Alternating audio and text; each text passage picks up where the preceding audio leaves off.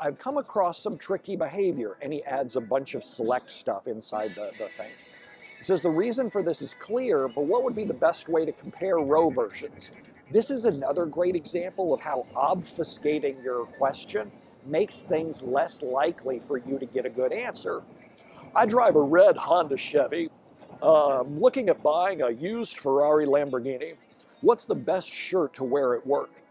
Keep it simple you know how the rest of that saying goes. Keep it simple. Boil your question down as clearly as possible and stop trying to throw fakes when you're writing the question out.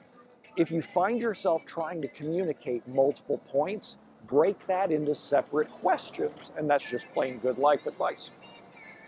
Uh, your last part of it was what's the best way to compare row versions? I simply don't know because I just don't do it, and I don't know the rest of the garbage in your, uh, the rest of the interesting things inside your question either. And I've got a bunch of select queries that I'm not about to go run them here in Tokyo. And come on, you know how Office Hours works. I don't do demos on Office Hours. I don't open up Management Studio.